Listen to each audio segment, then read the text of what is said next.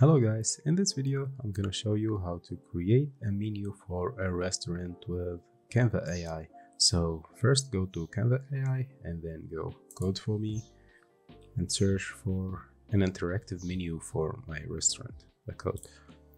Actually, you can modify all of it, create a modern, build your own order, your order right here, for example.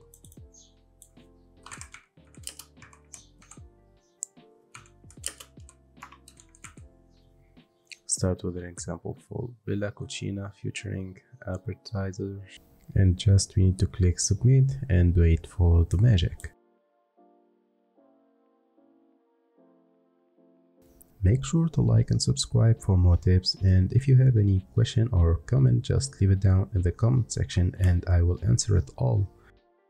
And that's it guys, this is our order right here and we can add to order and add order pastas spaghetti.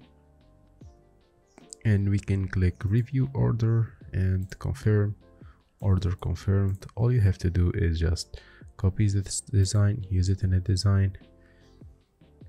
Maybe put it on your website or anything. And that's it guys for today's video. If you find it helpful please leave a like and comment and subscribe for the channel.